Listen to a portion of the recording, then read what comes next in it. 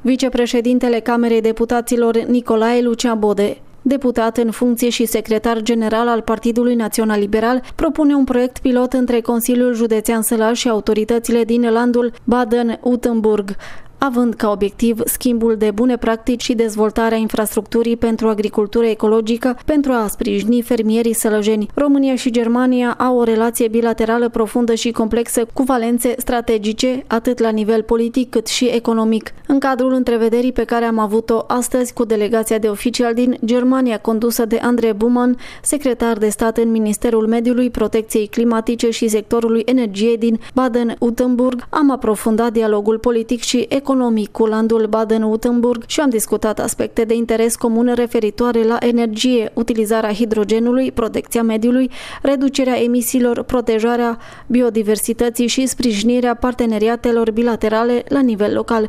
Mă bucur că această întrevedere s-a realizat la mai puțin de un an de la ultima noastră întâlnire și am putut să discutăm concret despre stadiul proiectelor bilaterale pe care urmează să le dezvoltăm. În cadrul discuțiilor avute am evidențiat componenta economică solidă a relației bilaterale cu landul Baden-Württemberg, mai ales în domeniul energiei, tranziției energetice și dezvoltării durabile. România are un potențial energetic foarte mare care este recunoscut ca atare de partenerii germani. Împreună putem valorifica în continuare acest potențial enorm prin cooperare și decizii eficiente care să contribuie la consolidarea profilului energetic al României în regiune și pe plan european.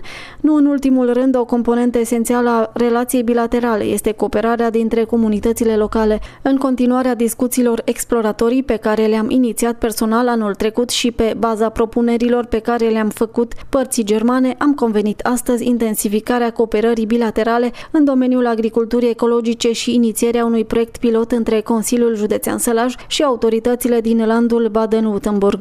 Obiectivul acestui proiect pilot este schimbul de bune practici și dezvoltarea infrastructurii pentru agricultură ecologică. Pentru pentru a sprijini fermierii sălăjeni și pentru a crea oportunități economice pe termen lung pentru județul Sălaj.